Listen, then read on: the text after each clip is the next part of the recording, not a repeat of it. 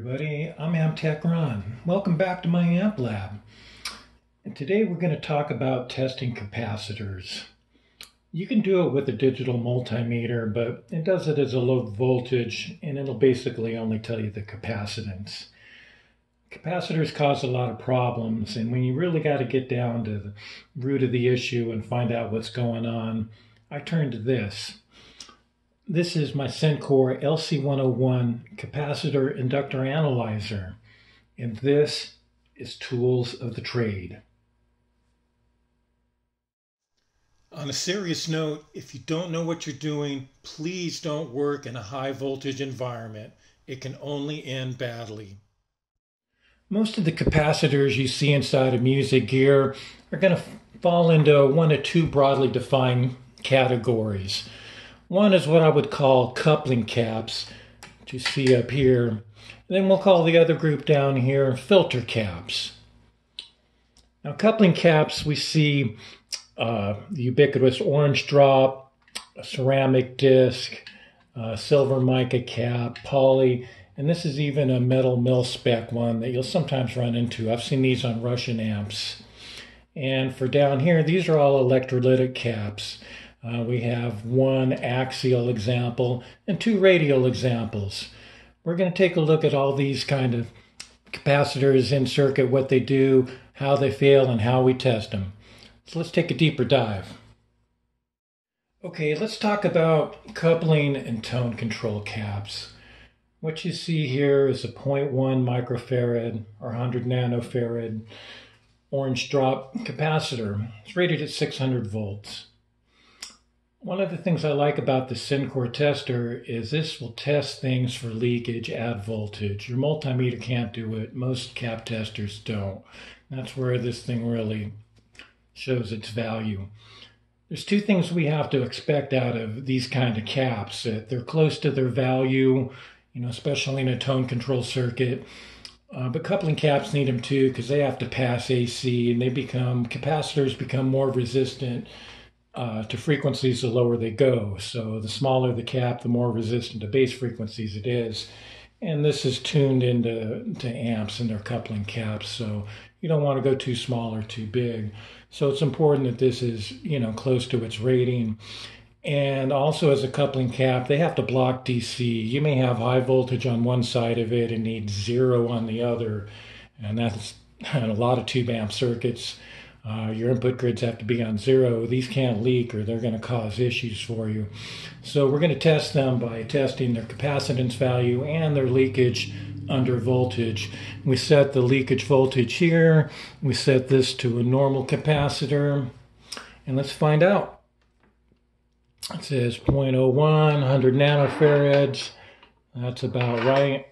Let's go to the leakage and put 600 volts on there, it's zero. That's exactly what we want to see. We can put this in circuit with complete confidence. And here we see a silver mica cap. It's rated 250 picofarads at 100 volts. These are quite oftenly used uh, in tone control circuits. This would be a treble tone cap. Let's check its value. 288 picofarads. That's a little bit high, but totally acceptable. And we test the leakage at 100 volts. That is zero. That's exactly what we want to see. Uh, these are the kind of things we want to see in any tone control or coupling cap situation.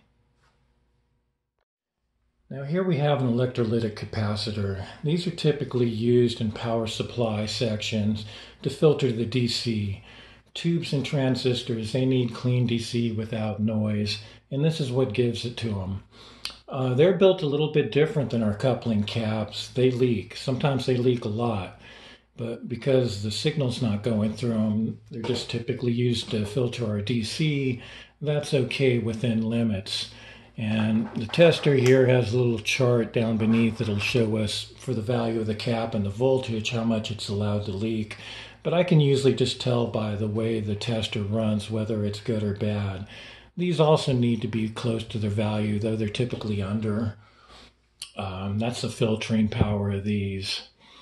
Uh, these can fail in a lot of ways, but typically, you know, they'll lose their capacitance or just go bad completely. Sometimes they can blow up, but then it's pretty obvious what's wrong with them. But usually, a capacitor that's bad looks just like a capacitor that's good, and that's why we got this machine. So, this is rated 47 microfarads at 450 volts. That's a typical uh, tube amp kind of filter cap. Let's check it out. Value is just a little bit under at 46. That's normal. Caps are usually under rather than over. And go to the leakage. And it starts high. That's the microamps, and you see it rapidly kind of drops down. And already it's an area, if it was leaking like this continuously and not dropping, it'd probably be okay. It'll keep going on like this for a little bit, but we don't even have to continue it. I can tell you that that's a good cap. That's indicative of a good cap because the bad ones, you usually get all kinds of wonky readings pretty damn fast. Our final example, we're going to do another electrolytic. Uh, this is a big one like you'd see in a solid state power supply, 4700 micro farads at 80 volts. This would be a medium watt amplifier. Uh, and it's the same kind of things. We just want to see about the right capacitance on there, leakage is not excessive. And one thing I gotta note with uh, testing electrolytic caps is these are polarized. You have to observe that. You hook up an electrolytic cap backwards on DC, well, you got a surprise coming and, and a mess too. So be very careful about that. Testing this out, 4400, a little bit under, but you know, typical. We go to the leakage and we're just gonna look for the same kind of drop behaviors we saw before. This is a bigger one, so it takes longer. See the microamps dropping. That's totally typical, about 50, 60% every time until it gets down to about the baseline, then it slows down. That is a good cap as well.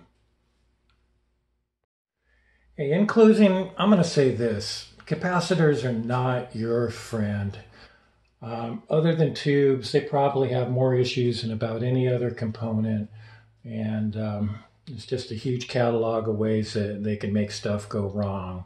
You can do some basic tests with them with the multimeter, but when you need to know, you gotta, you know, bust out the big guns like this thing and test it under voltage and have the confidence that that's not the component that's causing you issues.